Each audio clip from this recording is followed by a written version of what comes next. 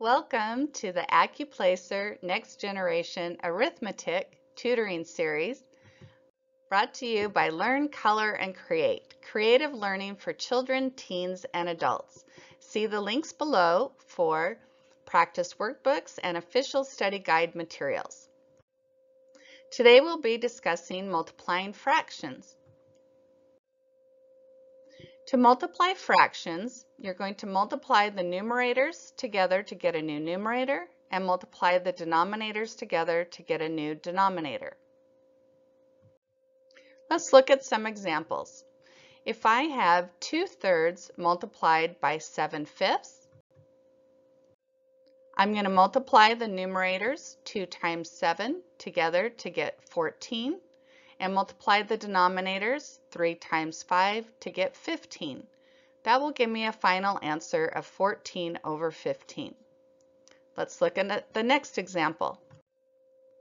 If I have 4 ninths multiplied by 10 eighths, I'm going to multiply the numerators 4 times 10 to give a new numerator of 40 Multiply the denominators of 9 times 8 to get a new denominator of 72, and that will give me a final answer of 40 over 72. Let's look at a third example. If I have 9 halves multiplied by 3 eighths, I'm going to multiply the numerators 9 times 3 to get a new numerator of 27 and multiply the denominators 2 times 8 to get a new denominator of 16.